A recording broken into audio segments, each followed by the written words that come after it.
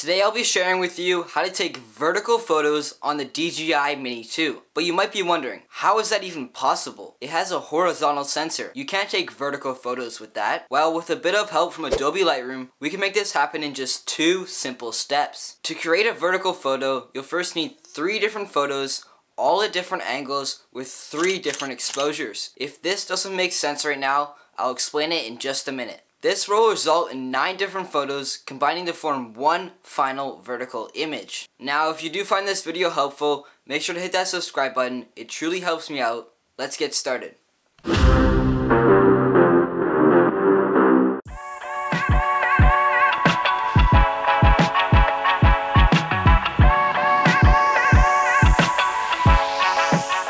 After setting up your drone, calibrating it, and checking it for any damages, you then want to take off. Once in flight, find a location that has both foreground, midground, and background elements. What this means is there's something close to you, in the middle, and far away from you. For example, in this photo, the trees are in the foreground, the lake is in the midground, the sky is in the background. If you can apply all these elements to your photo, it will really help out in post-production. Now that you have your location, fly to an optimal height but remember to follow the rules in your area. For me, that's 120 meters or 400 feet. In the DJI app, make sure to turn on AEB, which stands for Auto Exposure Bracketing. Tap the photo mode, then AEB to turn it on. This will cause the drone to take three different photos in place of one. One underexposed, one middle exposed, and one overexposed. Now that it's on, tilt the gimbal down to capture your first photo at three different exposures. This image should be of the foreground. Now do the same with the midground, tilt the gimbal up a bit and take the photo. Finally, tilt the gimbal up a bit to capture the background and you should be left with 9 different images.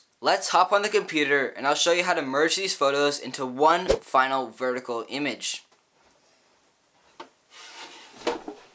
Now that we're on the computer, let's download the photos and upload them to Adobe Lightroom. Once inside Lightroom, select the 9 photos and group them into a stack so it's easier to distinguish between them. Now open the stack, select the 9 photos, right click, photo merge, and select HDR, panorama merge.